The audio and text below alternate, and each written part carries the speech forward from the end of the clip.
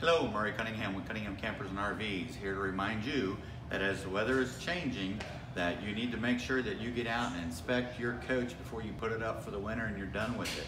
We've got all the supplies in stock for all your caulking needs, sealing your roof, cleaning your roof, and we've got plenty of caulking depending on which brand and type you need.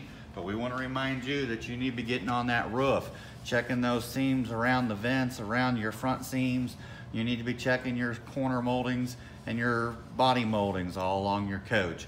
Because the last thing you want to do is put your coach up for the winter and open it back up this spring and find out you've got a water damaged mess and you're gonna have to spend lots of money to get it fixed. We hate to see that happen to anybody.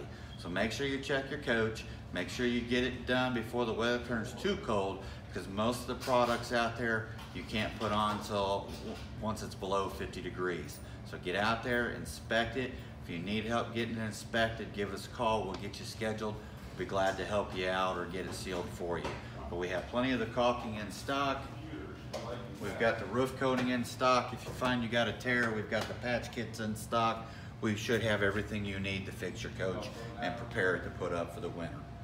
Stay tuned for our next video and we'll show you some things you don't want to put it away and have a problem with.